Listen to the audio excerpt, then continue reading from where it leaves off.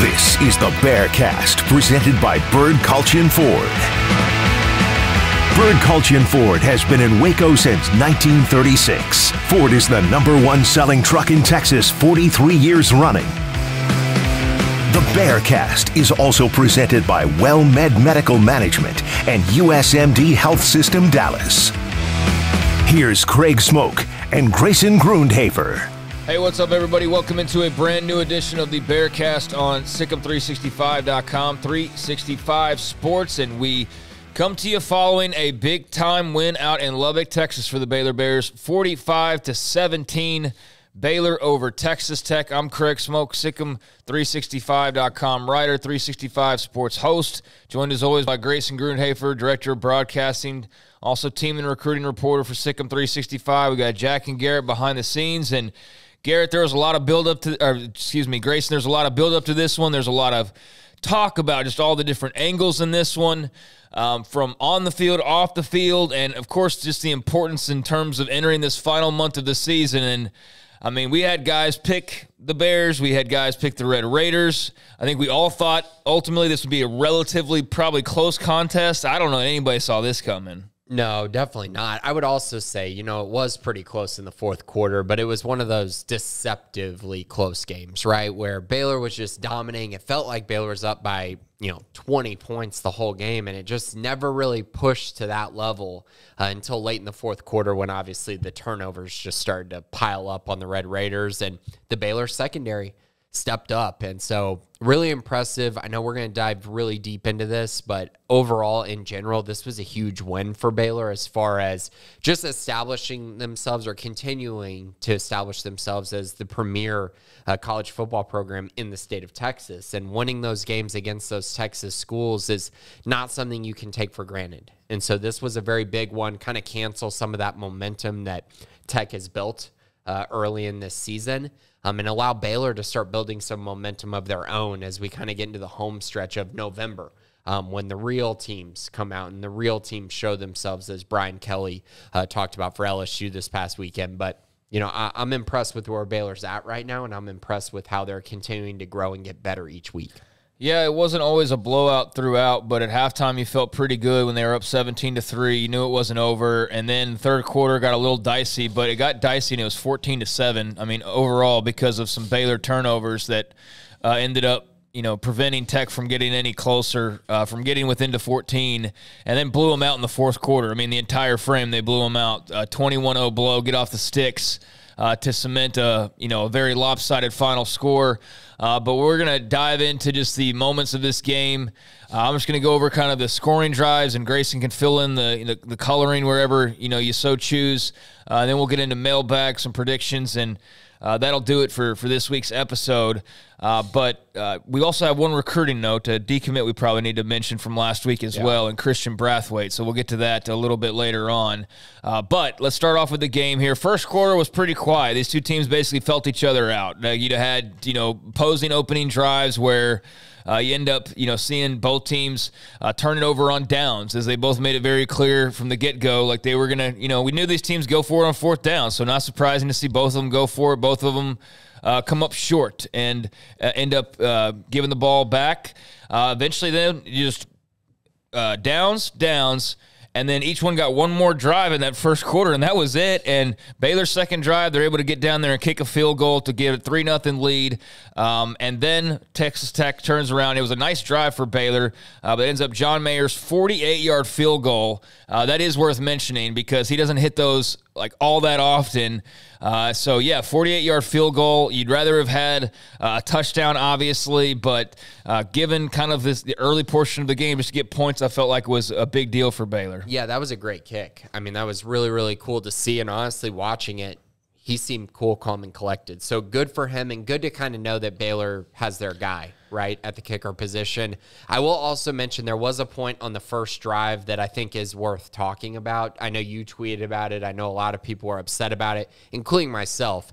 Um, you don't want your quarterback to get hurt. You mm-hmm. don't want your quarterback to take unnecessary hits. You don't want your quarterback to, you know, be done for the year. But on the flip side, you're on the road and in crazy environment and you need to get a first down, you have got to take contact. You have to. Um, sliding, the sliding rule is terrible. So it's where you start your slide. And so you're never going to get a favorable spot in that regard. And you got to know the situation. Um, and we're going to talk later uh, because Blake Shapen did a much better job of that later in the game. But on that fourth and two, he really needed to lunge forward and go get that first down. So just something to, to mention because it could have easily led to a Baylor scoring drive. Yeah, so uh, he comes up short. Baylor kicks a 48 yard field goal on their second drive. They take a 3 0 lead. And then uh, to basically close out the first quarter, uh, Tech in the midst of a you know drive uh, on their seventh play, they get um, all the way down to the Baylor you know 32 yard line, uh, first and 15. And Behren Morton is picked off uh, not the you know first or last time for Texas Tech by any means with interceptions, but Devin Lemear uh, gets the uh, big interception in the end zone, and it's Baylor football. They stop Tech from scoring any points, so they get the ball back, and they're starting the second quarter feeling pretty good about things, even though it's just three to nothing. I mean, that was like they didn't allow the crowd to get super into it. They pick them off when you know they're trying to strike back, and uh, that's one frame down where hey, it's only three nothing, but this was you could already feel that they were affecting the atmosphere of the game at that point. Yeah, and Behren threw that into triple coverage because he felt pressure, which is something we're obviously going to get to. But um, I do want to mention Devin Lemear. I guess I'll do it right here. Uh, one of the best games I've seen him play this year. He was really impactful. Had two pass breakups to go along with that interception. A lot of guys had career days um, in the secondary, uh, but he was very impressive in this one. Played really physical. Um, so good for him making that play, uh, going up and getting a jump ball and then returning it 21 yards. And you're exactly right. That was a, just kind of a sign of what was to come of Behren Morton feeling uncomfortable and Behren Morton making really bad decisions. Tech, uh, luckily for them, didn't have to worry about Baylor doing you know anything points wise with it, as uh, they would end up uh, getting stopped on an 11 play drive, going forward on fourth down. Uh, Blake Shapen sacked uh, near midfield on fourth down and three, and uh, that brought that interception following drive to a close. So score remains three nothing as uh, Tech's able to get some pressure. Yeah, and quick mention here: Baylor's got to be able to run a QB sneak on third and one. Yeah. And instead, they run a running play to Richard Reese, which I understand it worked all game long. So I, I understand that. You lose two yards. Now you're at fourth and three, whereas a QB sneak at worst you just have a fourth and one.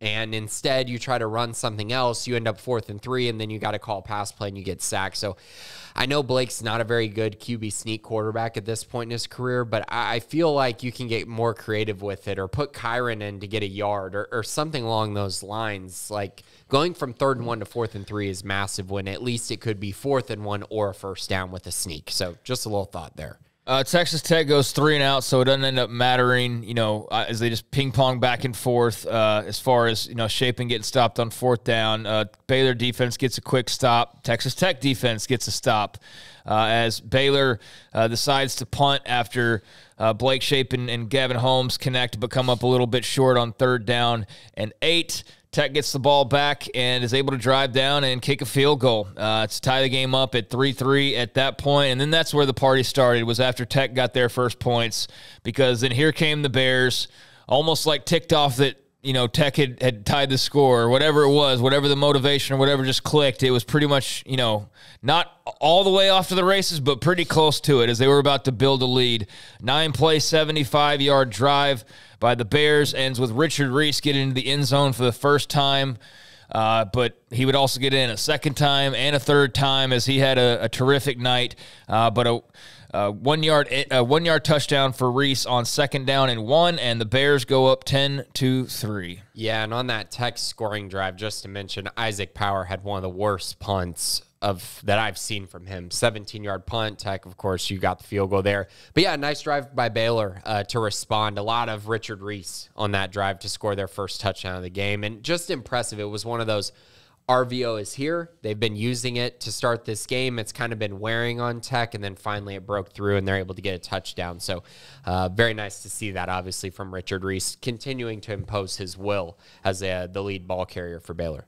Uh, Tech would be forced to punt, uh, going uh, three and out as uh, Matt Jones and Braden Nutley, or really Braden Utley, got it on the sack. Uh, and that was one of many as well in the night. Uh, just like interceptions, just like tackles for loss, just like Tech drives, it ended in no points. Braden Nutley with a big tackle along with Matt Jones. So uh, Tech forced to punt, and that's not something that they do all that often. But uh, that was, you know, part of the the big play was not only you know getting the sack and all that, but you're they're not going for it on fourth down. You're not allowing them to just do that over and over again. Uh, Baylor responds, and they feel like they at least break it open somewhat early on, but it wouldn't last. But they're still able to go on a 10 play, 74 yard drive that did not last very long at all, just a minute and a half, uh, a little over a minute and a half. I had to convert a convert a fourth and five on this drive, and uh, ultimately it's Richard Reese again on third down and two at the two yard line, and he's back in the end zone for his second score, and all of a sudden it's seventeen to three, and uh, they don't know what to do in Lubbock, Texas. Reportedly, people are already leaving for the you know parking lot at halftime. So, so much for this big crowd and this blackout and Patrick Mahomes and all this stuff that, you know, was built up during the week. Uh, by halftime, there were people that had already checked out, and uh, you had to feel pretty good. But there was a long way to go in this game. Uh, this third quarter was going to be the the real test, but uh, had had to feel good. I know I did when they were up 17 to 3 at halftime. Yeah, I mean, when they went up 10-3 at 151, I was like, okay, so if they go to half up 10-3, this is solid, but it really felt like they were up by, you know, two or three scores the entire half. And so for them to get this touchdown, it made the score far more indicative of what we saw in the field. Um, and I think that was the biggest part of it. I will say they got a little lucky on that pass interference call. It was just second and 10, so Baylor still could have scored a touchdown, you know, regardless.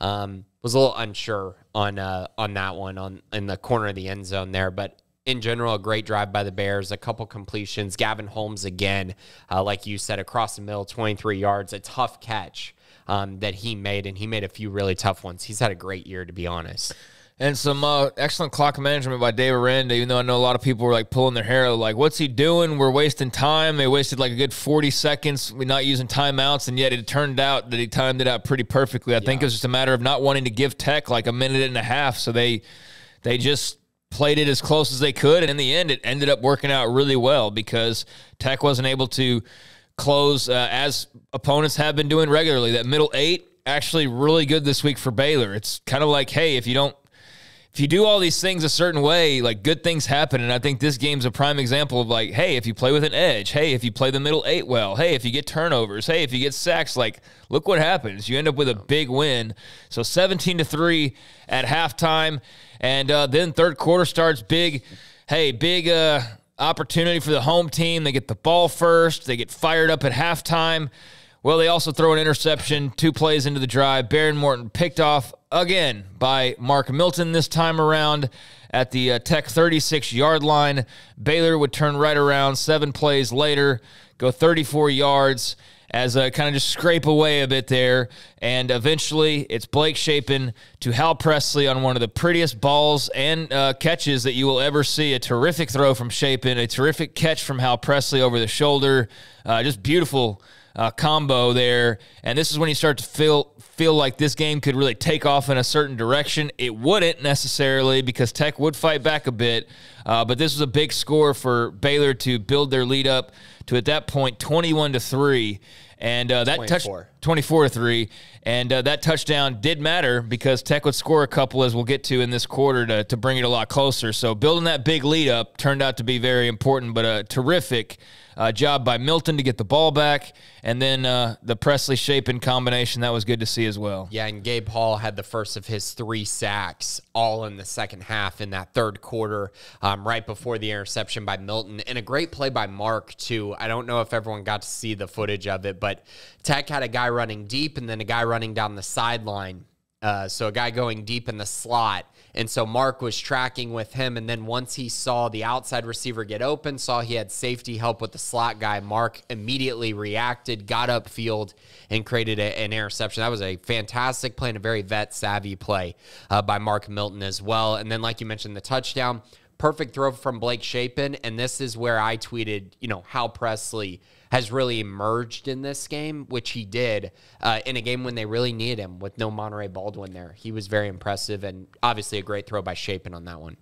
Tech was very hit or miss in the passing game. Baylor's defense did a really great job, but they did suddenly find some room in the running game. In the following drive, uh, SaRodorick Thompson able to really pop some some yardage um, and get a long extended drive going. Now, this wasn't going to be something that they could have repeated over and over again because they simply would have ran out of time probably, given that it was 24 to 3. Uh, but in terms of response, this really seemed to settle Tech down because they just kind of willed their way down the field and kind of did what Baylor, you know, was doing to them. Uh, but 15 play, 75 yard drive that took 335 off the clock. Uh, so a heavy dose of SaRodorick Thompson, a little bit of Behren Morton, uh, including a, a, scramble that he had, uh, getting away from pressure. And uh, eventually, you know, you saw Donovan Smith come in at one point, uh, and throw an incompletion as the tech quarterback usage was a little bit all over the place. I mean, quite frankly, they they don't they have a guy in Behren Morton, but they clearly have other guys they feel the need to play and to change things up. So Donovan Smith just randomly comes in and throws a ball. And had he hit on it, like it might have like flipped things in a major way, honestly. Yeah. But fortunately for Baylor, it, was, was a good throw too. It was. Yeah. It was a fine play, and it really actually it was a fine call. If it had worked, it might have really done some damage. But uh, fortunately. Uh, one able to complete the pass, and a few plays later, it was uh, Behren Morton uh, to uh, what is it? Uh, Henry Teeter. Henry Teeter uh, for the uh, touchdown, twenty-four to ten, as the extra point is good. And then it was uh, five plays later, a Baylor fumble that made you go, after all this feel good, you know, even 24 to 10, you're like, okay, 14 points is not insurmountable at all. It's third quarter. You're still feeling good, but then they fumble the ball. Richard Reese, otherwise pretty much perfect on the night, uh, just lets it go. Tech recovers, and I did not panic here, but I was going, "Oh man, this is this is exactly how you you blow a twenty four to three lead on the road on a Saturday night." So uh, definitely one that you'd like to have back. Uh, but that set up Tech in, in, really great position. Yeah, and it was a speed option play, and Shapen pitched it to him, and immediately his eyes went upfield instead yeah. of reacting to catch the football. So uh, tough play, and you're exactly right. This is one of those moments where you go, okay, is Baylor going to revert to the team they've been all year? Because if they had, it would have been, oh, you give up a touchdown here and then you come out, you turn the ball over again, or you turn the ball over again, or you miss an extra point, or you give up a block kick. You know what I mean? It's just this snowball that had happened all year. Um, and so in this moment, you're like, uh oh, uh, especially after Tech responded. But um, again, Baylor showed some maturity in this game. Yeah, they did, but I mean, I understand Richard Reese things like that happen, but how many times do guys need to see the example of taking your eye off the ball for even a second. It never works. And the only time, and, and you know what? It probably works a lot and we just never harp on it. But like when you see it not work is when, you know, you see the replay and almost every time it's a guy just taking his eye off the football for yeah. a split second. Like you, you just can't do that. He did uh, one of his only mistakes on the night and not even really all that memorable in the long run, thankfully, because he, you know, was able to to tack on some some more big plays and lead them to a victory. But man, at the time, it just felt like, oh no, here we go again. And sure enough, uh, rightfully so, Texas Tech turns it into a touchdown. Nine plays, 40 yards. All of a sudden, it is 24 to 17 after being up 24 to three, and. Um, yeah, uh, it got a little bit dicey, uh, but a nice long drive. Behren Morton uh, on the scramble on fourth down and seven, and simply a play where Baylor's defense got spread out and he saw no option and just ran up the middle, and they didn't have anybody there to, to get to well, him in time. And TJ's TJ's got to make. Well, I mean, he's got to make him he's got to make him slow down more than he did. I, I don't know that I necessarily need to say he has to make that tackle. Now, he is a veteran, so you would like him to make that tackle, but he didn't even really slow him down. He had his whole body on him, both arms around him, and couldn't bring him down on such a key play. Um, but yeah, like you said, you know, he's able to get in the end zone. But again, Baylor had a shot. Baylor had a shot to, to turn them over and really put this game away early. They did, but um, did not unable to bring him down. So Behren Morton scores. It was a frustrating play.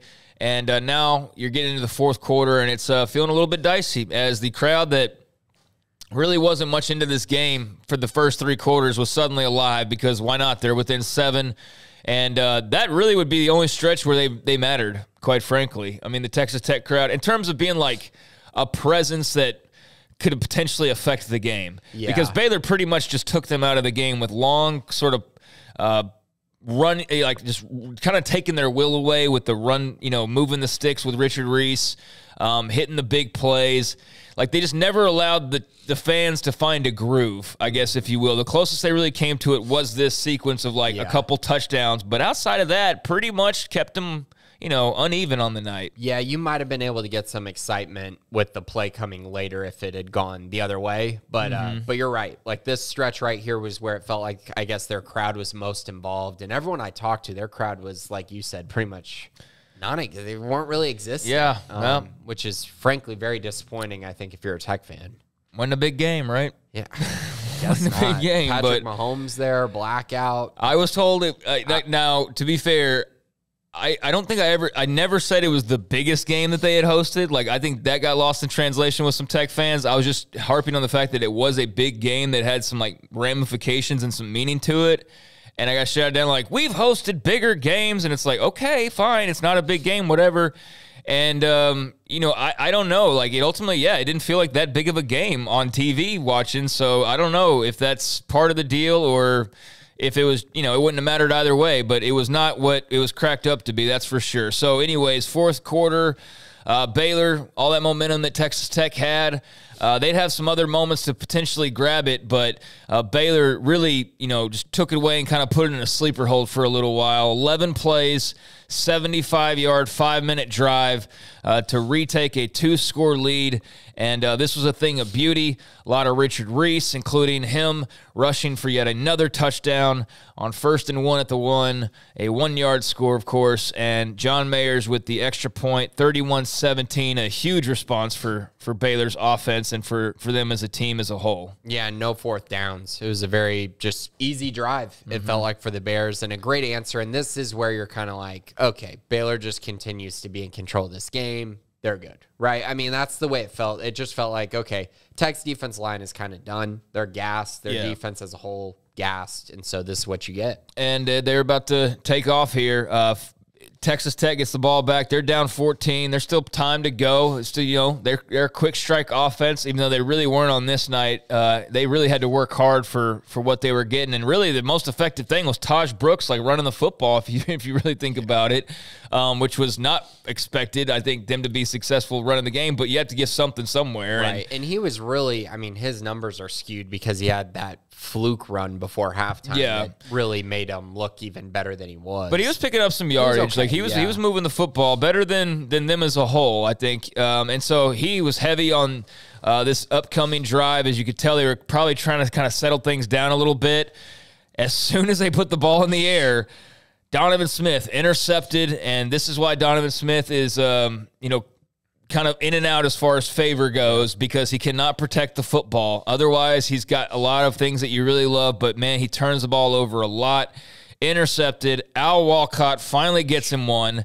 He's been probably had like five others this year that he should have had, but had Cat- one earlier in this game. yeah, I had one earlier in this game. Yep, you're right. And so he finally gets himself one. What better timing? Uh, interception, Baylor, and uh, they get the ball back. Uh, unable to do anything with it, but uh, anything before I get into the following tech Yeah, drive. this was one of those. Thank you, Zach Kittley, for deciding after you convert a fourth down to bring him in and or to keep him in and have him throw this pass. too Like, cute. way too cute. Like I know you want to run fast and you don't want Baylor to be able to sub, which was also an interesting thing to watch. Was Baylor was doing a lot of that slow Yeah. sub, which is smart. I mean, you have an ability to do that, but I, that was a just terrible decision. Also. I'm not going to put that one on Donovan Smith because you're asking a guy to come in cold and just make a play out of nowhere when Behren Morton's gotten all the first team reps all week. That just didn't make a lot of sense to me, and Baylor made him pay. Yes. So uh, just to kind of play spoiler here, this would be the first of what would happen twice more for Texas Tech in the fourth quarter alone. So if you're Joey McGuire, you could tell in the post game he was very frustrated because man, what did I talk about all last week? I talked about the opportunity that this was. What most disappointed him? The missed opportunity that they had here. He knew it, all the buildup and everything, and and just a giant missed opportunity. But big bugaboo in this game were the turnovers. They absolutely killed Texas Tech. So there was an interception. Baylor goes three and out, unable to do anything with it. But hey, it's still up 31 17. Tech gets the ball back, drives a little bit. Another interception, the fourth on the night. This one from Behren Morton again, intercepted in the end zone. Tevin Williams with, I mean, I don't even know if we've said his name this year, but an incredible play where he just ultimately wanted it more. And I think Tech's probably going to use this as like off-season fodder of like get stronger and get meaner and everything else, and probably have this thing on a loop in the field house type of deal because Tevin Williams just took it away. Uh, interception in the end zone on what would have been a huge score for Texas Tech. Uh, and instead, he rips it away for his first career interception. I know his father was ecstatic on social media massive play for the young man from Oklahoma and uh, just much needed. Ripped away a touchdown from Texas Tech and um, just kept things chugging along in Baylor's direction here. Yeah, and this has been building. He's clearly kind of taken over as one of the the top guys in the rotation at cornerback. That that really has been something he's been trending towards. So was very happy to see this. And I know Tech fans are upset about it, but if you really look at the play, no was, man, this is straight up. This was fine. It, it, was because in in my view of it and the way that I look at it is Tevin Williams came down with the ball in his chest, and the tech guy was just trying to put his hands on the football. Like that's not simultaneous possession in my eyes. And so, I think this was just who wants it more. Yeah, Tevin took it from him. Tevin wanted it more, and Tevin made a great play and a play that basically sealed this game. I, I it absolutely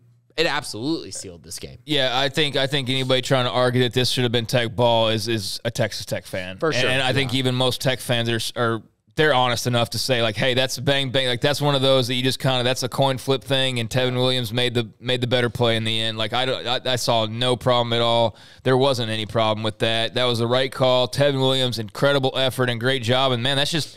I mean, that's I was talking about you put that on a loop in the Tech field house, put that on a loop in the Baylor field house, and show them an example of effort and just yeah. wanting it more and how that can flip a game because this prevented Tech from scoring. Uh, so then eventually Baylor, uh, unable to do anything with it, they end up having to punt uh, after eight plays and able to run about four minutes off the clock. So there was at least that to this part of the equation. Uh, and then. Uh, they give the ball back, and Tech basically says, like, here's the game. Um, because they decide at this point, let's go to Tyler Shough, who hasn't played like at all this year, basically. He's been hurt almost the entire time. And Donovan Smith's been picked off. Behren Morton's been picked off. Like, let's just see what the other quarterback has. So their original starter, Tyler Shough, comes in and one play, interception Baylor, AJ McCarty. And he not only picks it off, but he returns it for a pick freaking six. and yeah. so it is suddenly 38 to 17 Baylor, and this thing is over. Yeah, and honestly, okay, not only are we going to put Tyler Shough out there, we're going to have him throw a far oh, hash out that route. Call was awful. Yeah. What in the? I mean, that ball and that ball floated. It was so. There's people in this studio slow. right now that could have picked that off. Oh I yeah. mean, it was just hanging there, and AJ broke on it, and then of course AJ housed it, and great for him. Great to see that. He's had some ups and downs this year, so I was very happy for him to have that moment. And you're exactly exactly right. That was like, ooh, this could get this could get really ugly if it continues to snowball like this. So uh, big pick six, and yeah, it was a very long throw to make, especially on the first play, cold armed. Like I don't know what they were thinking there. Uh, Tech gets turned over on downs as uh, Tyler Shough's unable to to get anything really going. Um, and he gets sacked to end his drive by Gabe Hall, his following drive by Gabe Hall. Baylor, three plays, uh, yeah, three plays, 26 yards. Qualan Jones, touchdown as he gets in on the action, 45 to 17. And then time would whittle away. Baylor wins. Big exclamation point for Qualan Jones to, to get in on the action. And uh, when all was said and done, and time finally went to all zeros, it was 45 to 17. And Baylor had dominated the fourth quarter with three interceptions uh, in the final frame, five overall in the night uh, with six sacks on the night, eight tackles for loss. Um, Richard Reese, three touchdowns, around 150 ish yards. Uh, you know, Blake Shapen didn't have a big night statistically, but no turnovers. Uh, you had the one fumble from Reese. Uh, but outside of that, man, um, this was RVO. This was take five. This was even uh, you know I didn't mention, but there was a big punt that pinned uh, Texas Tech Yeah. down. You know, punting wasn't great all night long, but there were some key moments there in special teams as well. The field goal earlier in the game uh, from a good distance. So, yeah, this was a complimentary football at its finest. Yeah, and I love to see this for Qualan. And of course, there's sour grapes from Tech fans saying, oh, you're trying to run up the score. And I'm like, dude, Hmm. it's third and one, and they handed the ball off. What do you want Qualan to do? Fall at the goal line? Like, Yes. That's not happening. Come on, man. No, no college football players doing that on third and one. So great to see that for Qualan. Qualan played really well in my eyes as well. Um, it was only eight for 38 and a touchdown, but he also two for 18 receiving. He's actually shown some pretty good hands, which has been nice to And obviously, he's their best pass blocker at running back as well. Uh, also mentioned Hal Presley. He was four for 58 and a touchdown, and Gavin Holmes, five receptions for 77 yards. So those were kind of your big play guys at the receiver position. And then quickly on defense, Gabe Hall stole the show with three sacks, but Garmon Randolph was very active, especially early. He had two sacks as well. I mentioned Devin Lemear playing great. Al Walcott had a breakout game in my eyes as he's you know, he didn't have that cast anymore, so he's getting back to full health. Um, so in general, just a, a great performance by the Bears. All right, I know we got a lot of mailbags, so let's hit Oklahoma real quick. They've won a couple games in a row. Um, they have uh, beaten Kansas at home and then turned around and beat Iowa State on the road. Uh, really, I think special teams was was the big deciding factor in their game last week, and the running game, um, getting some good stuff from their two primary backs. Dillon Gabriel's back and healthy, um, but you know, I feel like this is this is definitely a team that you can go up there if you play like you did in Lubbock. You can go up there and beat them. Now, can you replicate five interceptions and you know all that kind of stuff that came with it?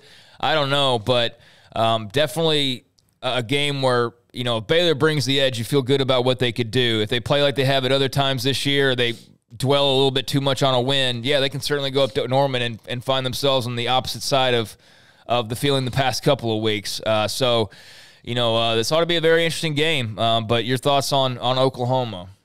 Yeah, I mean, if you look at Baylor specifically, um, they're going to be able to run the football on the Sooners. Oklahoma has the 114th ranked run defense in the country. They give up 190 yards per game. Uh, through the air, they give up 248, which is 90th in the nation. So obviously, there's some problems there. There's uh, they're just not very good defensively. I know they played well against Iowa State, but that's Iowa State. Uh, Baylor is not Iowa State. You know, Baylor's got a top 15 uh, offense in the nation, averaging 38.4 points per game. Iowa State has the worst offense in the Big 12. So I wouldn't take too much away from that game outside of the fact that it was coming off of a bye and maybe Oklahoma is growing up a little bit under Brent Venables.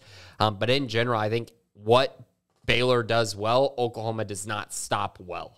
Um, so I think this should be a game that Baylor plays really, really well. And I think the only way that Oklahoma wins this game is if they're able to somehow run the football against Baylor's strong front. And if Dillon Gabriel plays a very high level uh, game of football against the Baylor secondary, and if we see that Baylor secondary regress a little bit from this past week.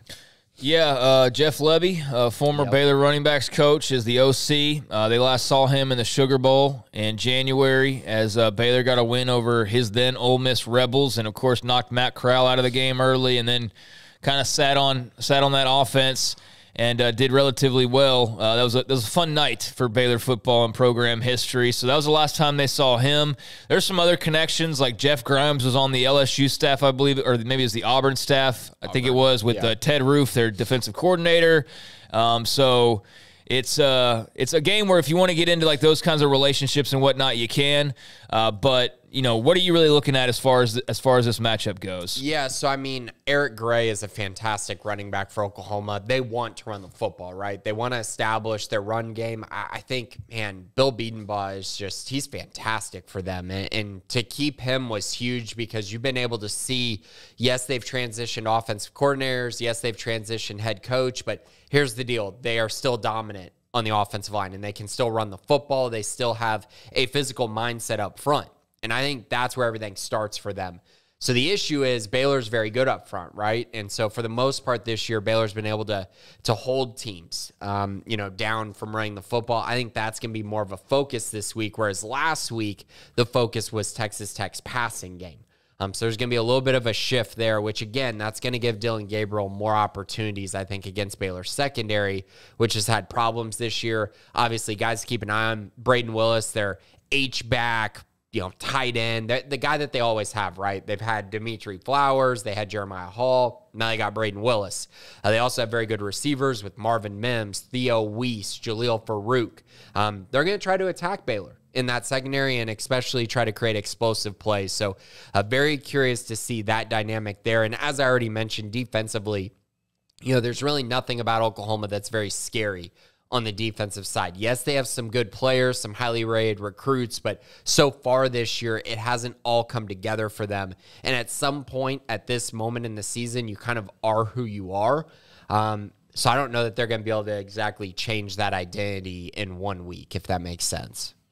All right. On the Oklahoma side. Yeah. No, no, I get you. I mean, they're like this is a game to me. Baylor's just got to play their game, and yeah. I feel good about their chances. Honestly, like it's not even so much about Dillon Gabriel or or anything. Eric Gray, or I mean, I, I, respect those players and everything, and I watch a good amount of Oklahoma football, but they're still very much a team trying to find themselves. Like they, they aren't quite um, fully polished in any way as far as their identity and whatnot goes. So, um, yeah, uh, atmosphere ought to be interesting. Uh, this might be the. La- I mean, would this might be the last time they go up to Norman, or I guess yeah. It, yeah, it I guess it be. would be. Yeah. Yep, the last time they go to Norman, I hadn't really thought about that, but yeah. And I don't think that environment's going to be crazy because a lot of my Oklahoma friends, they just it's kind of like a whatever year for them. Yeah, my uh my mom and sister were going to go visit my cousin up in Norman, and like they my cousin, you know, they were sick or something, but I feel like it was more like it's just not a big deal. Right. Like the, the game weekend, I, I, got that more sense than I did the, the which is part. sad. It's year one yeah. with Brent Venables. This is a big game for them, a chance to you know keep whatever hope they have alive for a Big Twelve championship. And yeah, I just I think the I don't think this environment is going to be anything near what they've faced in you know Ames, Provo, and Lubbock uh, up to this point. That should all aid them though in yeah. going up there. I mean, because all you have to do is just you know, as you saw in Morgantown, is just not play well, and whatever crowds there will get into it. All you have to do is give them some hope, and and Oklahoma's not going to come to this game hopeless. I mean, they might not have like a jam packed like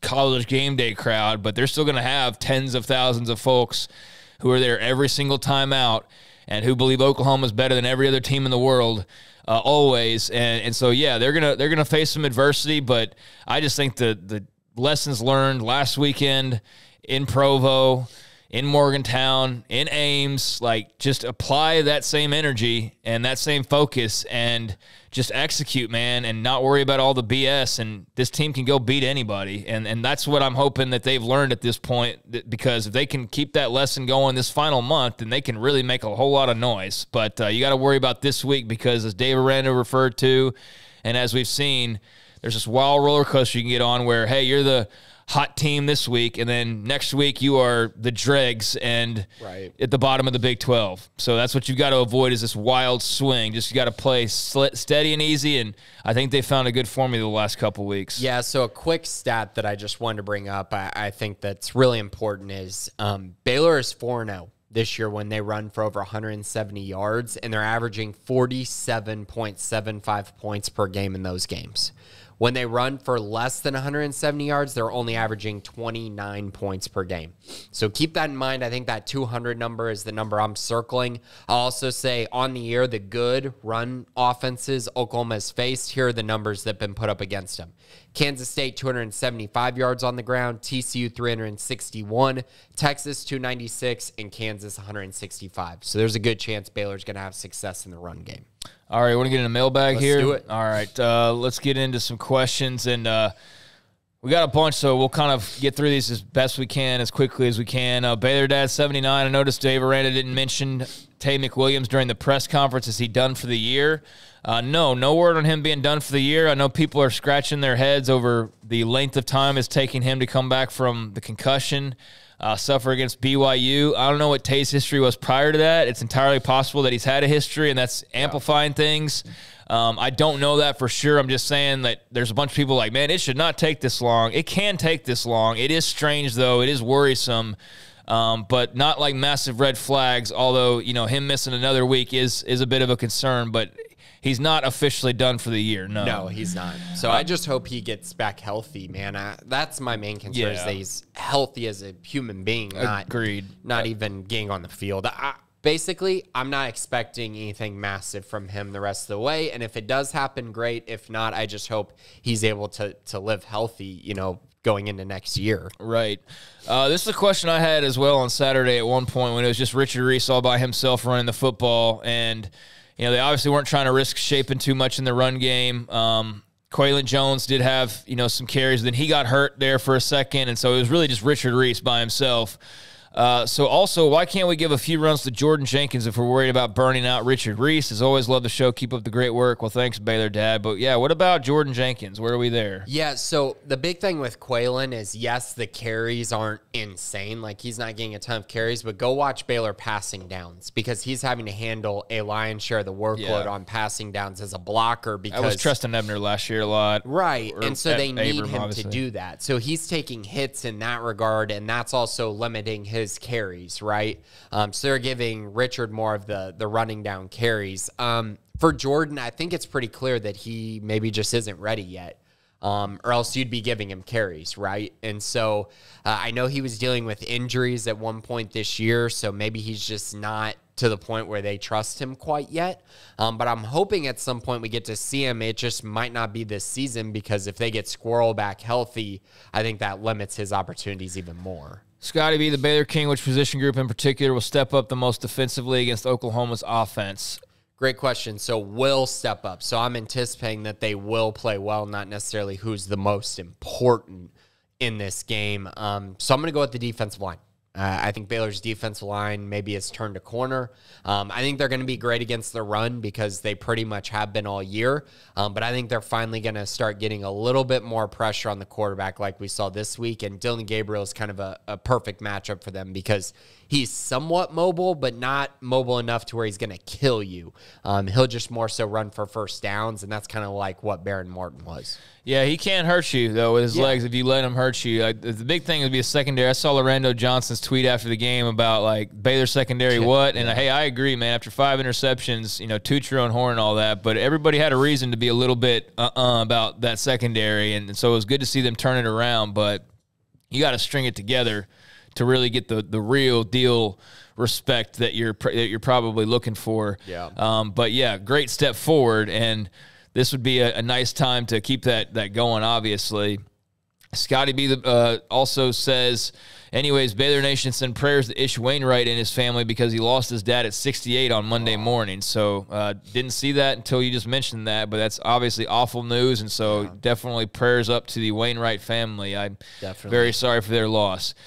Ziwatanejo Bear going back to LSU, Aranda's defenses get significantly better as the season goes along. That shows good coaching, but it cost us a couple games earlier in the year. I know they're not trying to be bad at the start of the year, but can they find a balance so that games are not lost that would be won if they were played later in the season? Yeah, I mean, this didn't happen last year, though. You know, they didn't lose a bunch of early games a year ago. I mean, they went on the road to Oklahoma State, who was a dang good football team. That was their first loss. Like that, that wasn't a game that I was like, oh, you know, if they played them at the end of the year in Stillwater, they for sure would have won. I, I don't know. You know, I don't know that that's true. Um, They can't beat Oklahoma State outside of a neutral site game. They Well, haven't yeah, beaten them yeah. under Aranda outside of Arlington. yeah, and then TCU. I, I mean, that was late in the year, so I Can't don't know beat if, them, period. Right. So I don't know if this is really a trend. Now, if you want to say this year, what happened? Well, I mean, I would say it was more that their offense took time to to get to the point where they've where they are now. Um, I don't think the defense cost them the game against BYU, nor do I think the defense really cost them the game against Oklahoma State either. Um, they they maybe did against West Virginia some, but your quarterback got hurt. Like you can't you you can't predict that. So I wouldn't read too much into this. I, I know that you you may be trying to, but I, I would not read into this until we see more of a trend of that. I think he is right though. Like this team, I think that's probably the case for most teams. But this these teams clearly under Aranda, the last two years are evolving. Like the they get off to uh, not a rocky start or a slow start, but they definitely are playing a different brand of football. I think at this point. But again, like I said, it's Is any eight team weeks not in. like that though? Well, that's what I just said. That's Yeah. what I'm reinforcing. Is like I think you could say this about any team by the end of the year. Yeah, because it's like that LSU team with Joe Burrow did not look like the LSU team with Joe Burrow at the beginning of the year. And then they just looked like, I mean, they looked at a whole nother level. Like good teams get better throughout the season. So again, I just, I wouldn't read too much into that. Dak JD90, the push from our O line and the run game seemed to be much improved this this game. On many plays, Reese wasn't getting touched until well down the field. Was nice to see this. Is this O line finally becoming more consistent with cohesiveness, or is Khalil Keith low key the best player we have on offense? Khalil Keith is a monster. And I mentioned this last week against Kansas. He's just a totally different, you know, mold at that tackle position. Now, saying that, Gavin Byers still got a lot of reps and still played really well on Saturday. So I think they're all kind of coming together. But yes, when you add a player like Khalil Keith, he helps everyone and helps their entire run game. So yes, he's been a major, major factor, and we kind of all knew he would be. ZT Smith 423. Who's your favorite young linebacker, at least as far as playing so far on the roster, as far as potential? At least playing as uh I mean my favorite linebacker on the roster is Josh White, but he hasn't played a ton. Um so I guess if you're asking this guy has to have played, then I guess Tyrone Brown would be my answer to that. Yeah, I mean, I don't even think of anybody off the top of my head, uh, to be perfectly honest. I mean, Tyrone Brown, sure, um, but it is not something that I have given much thought to. I'd have to actually kind of sit down and think about it for a second. I mean, like Brooks Miller had a good play. Brooks in the Miller's game been down good, yeah. sideline. he's had a moment. If you're counting Jacks, then Jackie Marshall is on my list as he well. He's has. looked great. So yeah, I mean, they, they have a lot of young linebackers, but uh, Josh White, who hasn't played a lot, is, is one that I'm expecting very big things from in the future. Yeah, it seems like Brooks has had a couple moments here and there. Um, we had like a near interception this last Great game. pass breakup. Yeah, Um, but yeah. Jackie Marshall's been making some noise. So yeah, they, they've got some guys. Uh, Fort Jin Bear, thank you ZT. Uh, Fort Jin Bear, how would you rate Tech receivers compared to other groups we've already played or still have to face? Is the fact that our secondary uh, held up in Lubbock a reason to hope or a one-off? Um, I think their receivers are probably as good as Kansas State's, but outside of that, the receivers Baylor is about to play are all better. Uh, Oklahoma, TCU, and Texas all have more weapons at wide receiver than Tech does. As far as earlier in the year, they're better than every receiving core except for Oklahoma State and West Virginia. All right. Uh, you said better than Yeah, everybody? they're, they're better than all the other ones except for those two. Because when Baylor played BYU, they didn't have their two best receivers. So, not counting that, Iowa State's receivers outside of Hutchinson are not very good. Oh, okay, I was thinking of like you're talking about who they've already played. I was thinking of who they've got upcoming. No, it- like, yeah, they're yeah. definitely not better than TCU. No, no, no. yeah, no, no. Upcoming, the only one that they're as good or better than in Yeah. is K State. Okay. Yeah. Uh, yeah, they're they're pretty they're pretty good. They're they're better than average. fine. Yeah, they're, They're young, fine. they're Yeah. they're they're very young, and and that's something that you know Joey and them will recruit it up, and they'll find some freaks and and do it. Uh, you know, kind of similar to how we saw here with their own twist on it. Alpha Needle, if Jeff Grimes were to leave after the season for a head coaching offer, is Shawn Bell a logical person to replace him as OC? And do you think he's ready for the challenge? Grimes has been mentioned as a potential candidate for the Auburn job because he's been there previously. Uh, but what do you think about the question? That's a great question. Um, I oof, I think you might honestly have. It all depends on what people want, right? Um, what what do they want to get to at some point? I think I could see a co-OC thing with him and Eric Mateos. Um, because those are the two that I'm thinking about as oh he could be the OC for this team. Um, so a co-OC would make a whole lot of sense for those two. That would be my goal if I were Dave Aranda. Yeah, that sounds better than me. Than I think just outright going one or the other. Um, Yeah. I think that that makes the most sense. That's probably the direction I would go. I don't know what their matchmaking is, like how complementary they are of one another. That would be the thing uh, on whether that could potentially work or not. I'm sure those conversations have taken place or thoughts have taken place because you always got to be ready for. You know, especially as you draw closer, you got to be aware that Grimes is going to be a guy that's going to be mentioned for jobs, and there are going to be others on that staff too. But yeah, I mean, I could I could see that in a dream scenario if like all things were rosy and green and everything. Yeah, Mateos and Bell as co-coordinators. But if Jeff Grimes the head coach, I think he's probably taking Eric Mateos with him. try, yeah, yeah. he's gonna try for sure. Alpha Needle. Uh, also, what do you think Gary Patterson is saying to himself right now, considering the successes recruits are having this year at TCU? A, dang, I wish TCU would have given me another year. Look what I would have done. Or B, I blew it. I should have adapted my scheme to take advantage of the talent I had. B, but it has nothing to do with scheme. It has everything to do with his attitude, his mindset, his stubbornness, his old fashionedness, not necessarily his scheme, what he put on the field. I, I just I, I, he, I think he really botched it in the last year or two. And so TCU made a good hire, it looks like, which is shocking to me because I didn't think it was going to be that great of a hire when they initially made it. Yeah, I mean, I think they're certainly benefiting. They've got a very old group. I mean, they you do. look at all their players, like all their stars are yeah. like junior, senior guys. And that's what Baylor was last year. It's very similar to that in that way. Um, and so I think you know, let's see. Like Sonny's doing a great job, but let's see in like two years when he's playing with like. And I know this is the whole like seeing with his own guys, but uh, I mean, he really did inherit a hell of a group on offense for an offensive minded guy to take over. And Garrett Riley's doing a good job too.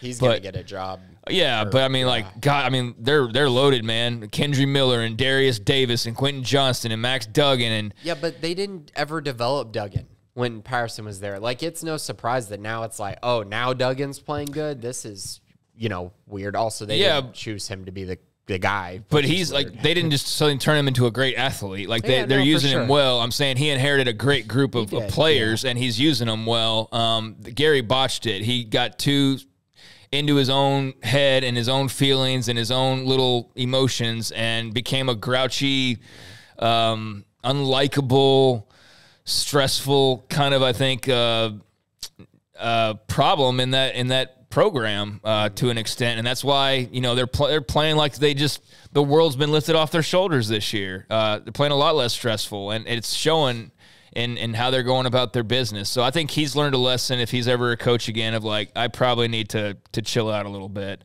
Uh, let's see. Osos Del Rio Brazos is it TC or bust this year for Big 12 and the CFP? Is it wrong? I prefer bust. Yeah, it is TC or bust. Yeah. And it's going to be bust. TCU's not making the college football playoff. Yeah, no, and I don't blame you at all I, for for wanting them to to not make it. Uh, I I can see that they certainly wouldn't be rooting for Baylor to make it just for a little bit of extra money that doesn't go in their pockets directly. So yeah, I don't think Baylor fans should have to root for TCU to to be the first non OU team to make the CFP. But yeah, it's basically them or nothing. Well, and Baylor gets to do something about that too. Yep. They have to come here and play. So yeah, TCU got a chance last year, and we saw what they yep. did. They basically kickstarted the whole run, and uh, yep. Joey left that week, and that's when everything looked like it was going to fall apart. And that was actually the start of everything getting to be really good. Overall, Minion, hey guys, on the NIL front, is there a way that SicEm could share the different ad content that our Bears are part of? For example, I'd love to see a Reese's ad with Richard Reese at the center of it all. Also, I don't know anything about business, but if y'all had all this NIL content in the site, could y'all pitch it as advertising for these companies and have them pay for it? It could be a win win because we have a single place to see all of our Bears NIL content and you get paid.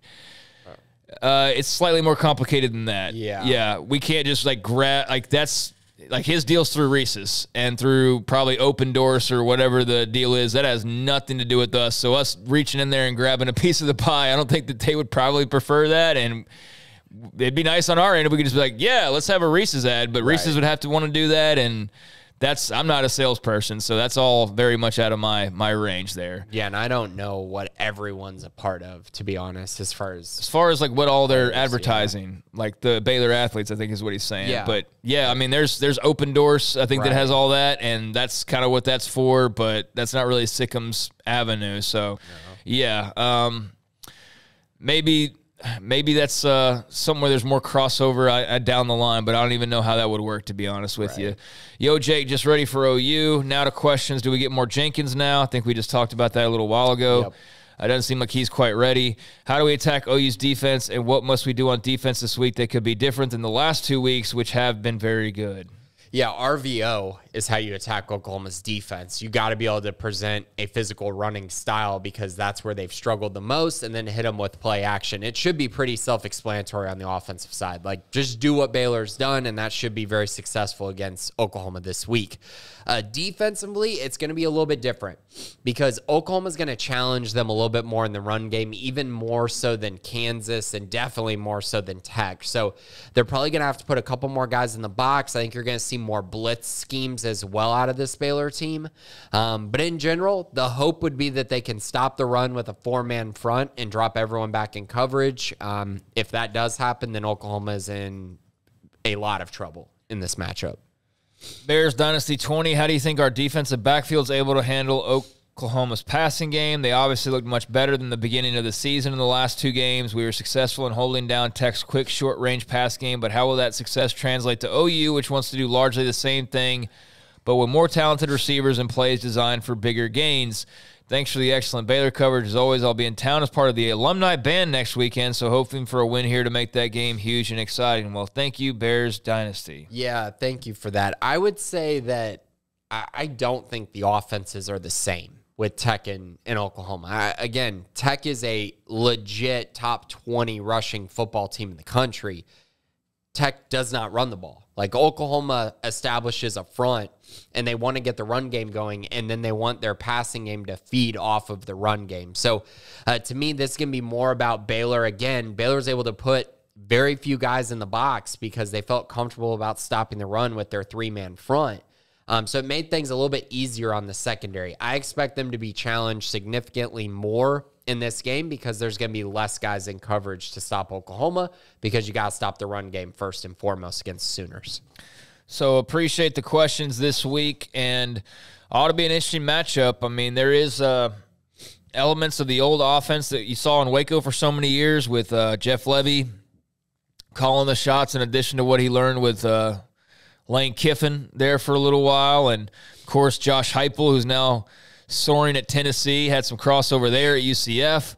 So he's been around arguably like three of the top offensive minds in college football uh, over the last decade plus. Um, but Baylor also beat him and knocked his quarterback out of the game early in the Sugar Bowl back in January. Um, I'm sure Lane had some things to do with that offensive game plan, but still, that was a big Baylor win. That's the last time they saw uh, Oklahoma's OC.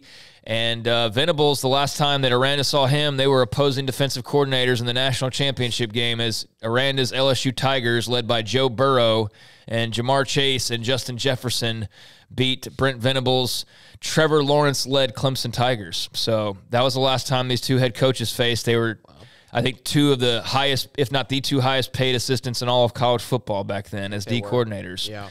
So, uh, yeah, now they're both head coaches and squaring off in the Big 12 small world, but uh, should be uh, making for a cool matchup in Norman this weekend. So I guess uh, there's nothing else. Let's get into. Well, uh, one real quick Christian Brathwaite decommitted.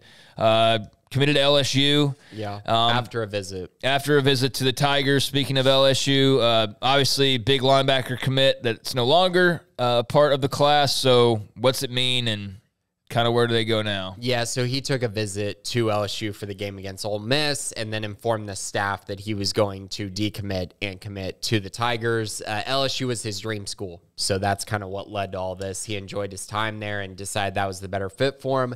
Baylor will still recruit him. Um, but it's looking like a long shot at this time, and that that's pretty much it, right? Because they still have these spots available. It gives them one more spot of flexibility in the class, uh, but in general, they don't have like a guy that's a one for one replacement for him. You know, what I mean, like they're not sitting there like, okay, we have to get an interior linebacker now. Uh, that's not really the way this is going to go. It's going to be about best available guys, using some of those spots for transfers, uh, looking at JUCOs as well. Um, so that's kind of kind of be how they adapt, you know, from losing him. Um, but it's a big loss. He was one of my top five uh, prospects in the class. So um, you know, it's a it's a tough one, especially for a guy that was not only committed for a long time, but was a Baylor lean basically since his freshman year. So uh, a really tough one to see go. A, a big recruiting win for LSU, and uh, I know this one hurt uh, the Baylor staff a little bit because. Um, again, he was a commit for a really long time and a guy they recruited for a really long time.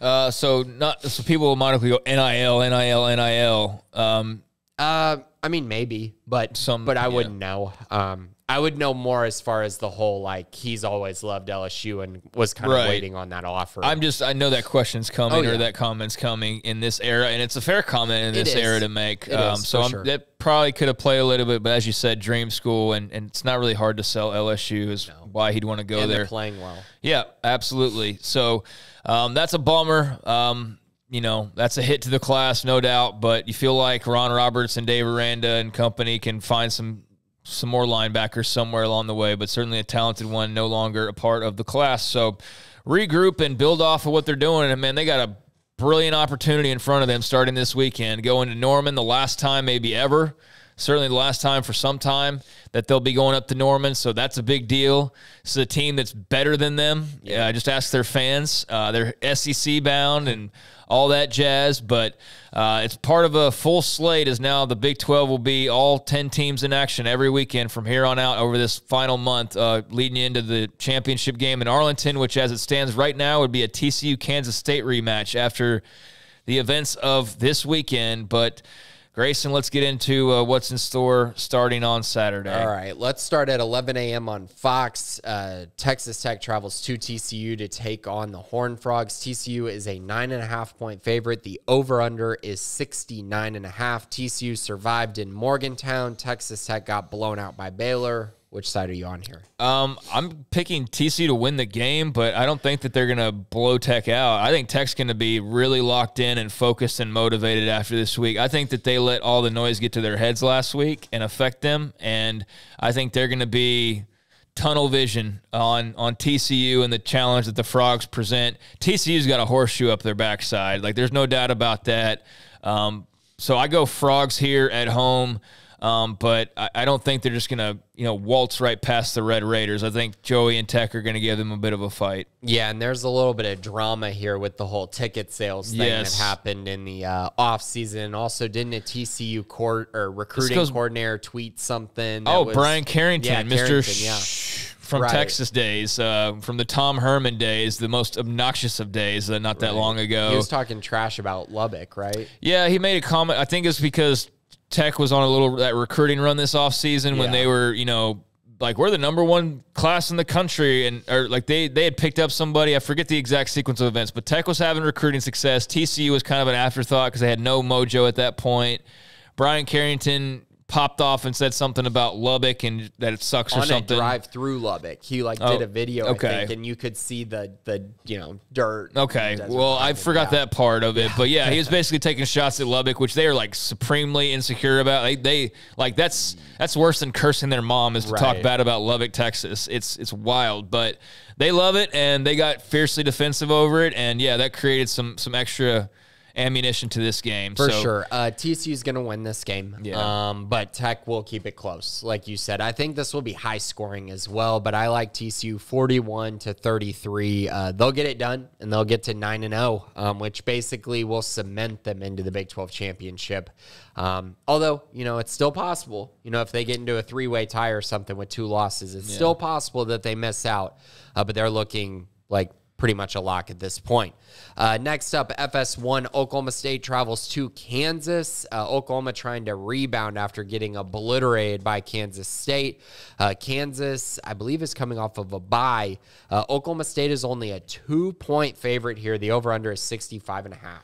Yeah, they're riddled with injuries, and Gundy didn't really provide a whole lot of optimism that they'll be all that cured from those uh, this weekend. I think Jalon Daniels is back practicing, if I saw correctly yesterday.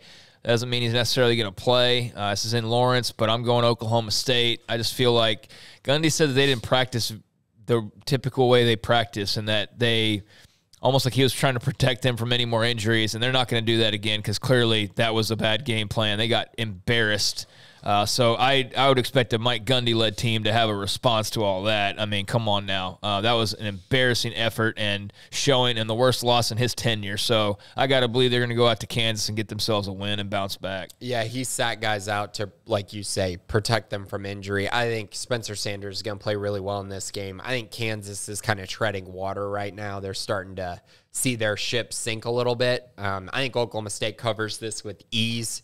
Uh, something like 34 23. Uh, the Cowboys get back in the win column. Next up, 2.30 on ESPN Plus. West Virginia travels to Ames to take on Iowa State. Uh, this is a battle for who's going to finish last in the Big 12, at least it looks like at this point. Iowa State's a seven point favorite. The over under is 50 and a half. Yeah, I mean, I, I have no desire to watch this football game. Um, Iowa State's incompetent on offense. They have no running game. Hunter Dekkers is fine, uh, but has a long way to go. Their defense is great. Their defense is the best unit in this game, and I'll give them the nod because of that. Um, West Virginia can win this game if they play like up to their their level best, but I think Iowa State kind of squashes what they want to do offensively and I don't know what happens with the Iowa State offense versus the West Virginia defense. Like that's the huge wild card. I have no idea what happens there. I'll go Iowa State because it's in Ames, and the whole home field thing doesn't. That's not an exact science at all.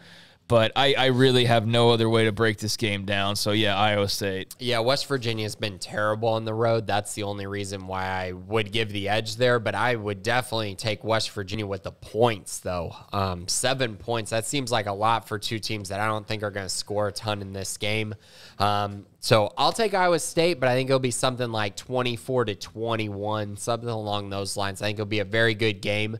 Um, but I don't know. I it the way Iowa State played last week was really shocking to me. They showed no heart at all against Oklahoma. So we'll They don't see. have a run game. Yeah, they don't. They And don't have any run game. Cost them. Um, next up, 6 p.m. on FS1, Texas travels to Manhattan uh, to take on everyone's new favorite to win the Big 12, the Kansas State Wildcats, after they demolished Oklahoma State this past weekend. Texas is coming off of a bye, though. Um, Texas is a two and a half point favorite. The over under is 54 and a half. I can't ever peg Texas, man. Like I, you know, I'm a guy who could probably be classified as uh, people would assume as a Texas hater because of the whole Oklahoma thing, but um, I'm I, I try to be objective as as all possible. And I think I give Texas the benefit of the doubt more than anybody. And it's not even a whole reverse psychology thing, although it might be a little bit. Um, but I, I really don't know because just when I think that they've gotten over their arrogance and all that, it's like it returns with a vengeance. Uh, just when I think they've they've got a more of a blue collar focus, like it's back to the same old UT type of stuff. Um, I think they're a good team when they're, you know, just analyzed as a team. But I don't know what kind of outside factors creep into them, and um, and therefore it's just hard for me to peg. Like, is it going to be windy? is Quinn Ewers going to have to worry about the wind? Like, I, I don't know what, what affects them, you know, to to the extent that I can really um, know confidently how they're going to perform in Manhattan, Kansas on Saturday. You know what I mean? Yeah. Um, so having said all that, I'll go with Kansas State. I do think Texas will play them very close. Um, I don't know that Skylar Howard's going to have another, or Will Howard's going to have another brilliant performance like he had the other day, but uh, or even if he will play, it might be Adrian I- I bet Martinez. Martinez. Yeah, it might be Martinez. So that's a that's certainly a, a little bit of a of a wild card as well. I'll go K State. Uh, I'm not super confident in this. I think Texas can play upset here, but yeah, give me K State riding the hot hand right now. Yeah, I'm taking Texas in this one. See, Um, there you go. Yeah, See? it's just that mindset of oh, they just blew out Oklahoma State. They've I been know. on this run of playing Yep. really good teams week after week. I think Texas gets back in the win column. They're coming off of a bye. I think K State's going to come into this game with a little bit beaten up, and so I think Texas is going to win this game. Uh, something like 35 30. It'll be a good one, but I, I like the Longhorns to get it done. And then finally on ESPN Plus at 2 p.m., Baylor travels to Norman to take on the Oklahoma Sooners. Oklahoma is a three and a half point favorite. The over under is now 58 and a half. yeah, why why were they like four and a half point favorites yesterday? don't I, didn't understand that at all. Like, is that just early money or something? It something? dropped to three, and now it's back up to three and a half. So That's the money's weird. going towards Oklahoma. Yeah. Um, okay. I'm going Baylor. Uh, I think, you know, so long as they play the way they played last week, and I don't mean like getting five interceptions, I just mean like being capable of doing that, but playing just with the attitude that they had and with the game plan with that that they had. Like, obviously, the game plan will be different, but just executing that game plan, whatever that may be. Uh, I like them to rattle Gabriel. I like them to shut down Eric Gray and company. Uh, I like them to to hit some explosives on offense and run uh, well with Richard Reese. Um, I think Baylor should win this game, um, but they've got to avoid the pitfalls I wrote about and that whole like that air of oh we just won, we won a couple and like block out all that BS, lock in like you locked in for Lubbock, and go play that game. You'll go beat Oklahoma and Norman and make a big statement. And then if you really want to hear people talking, there'll be people talking if you're winners of three straight and you you know you went back to back in Lubbock and Norman and got wins. Uh, but you got to go and do it first. Yeah, and this is a big one because this would push Baylor to four and two in conference with games against K State, TCU, and Texas remaining. So a lot on the line here for this Baylor team if they want to repeat as Big 12 champs. I like them to win this game. I don't think Oklahoma is very good, uh, and the problem is, is Oklahoma defensively, uh, just that inability to stop the run makes it impossible for me to pick them. In this matchup because when Baylor runs the ball well, they're nearly unbeatable um, in my eyes, at least from what we've seen this year. And so, yeah, I, am going to take Baylor here. I think they win fairly comfortably, 41 31. Um, I think OU will score some points, but I, I, think the Bears are just the better football team. All right, uh, that'll wrap us up for this week. Uh, it was a lot of fun seeing the Bears handle their business in Lubbock, uh, but now it's on to the next challenge and going to Norman, and they better come with the same type of edge that they had a, a, week ago, or it could be another one of those Provo, Morgantown type trips. I mean, they've seen both sides of the coin. They know what's what now. There's no shocker around the corner. Handle your business, and you'll handle your business. Uh, slack off and read headlines, and you'll get embarrassed and be right back in the back of the Big 12 standings real quick. Like so, uh, we'll see what team emerges on Saturday. But uh, yeah, all in on Baylor and Oklahoma. More coverage to come throughout the week on the website and of course on 365 Sports Radio. Anything before we go, Grayson? No, I, just another exciting week, and just to see if the Bears can continue this momentum. It's uh, it's been a up and down ride for sure. Hopefully, it keeps trending up. Yes, uh, six and three would be pretty cool, yeah. and uh, would make for a very interesting last three weeks of the year. But uh, got to go and, and, do that first. All right, uh, appreciate uh, Garrett and uh, Jack and uh, uh, Jacob as well behind the scenes. Appreciate Grayson as well. And uh, for all those folks, I'm Craig Smoak. Check you next time. It's been the Bearcast on 365 Sports, SicEm365.com.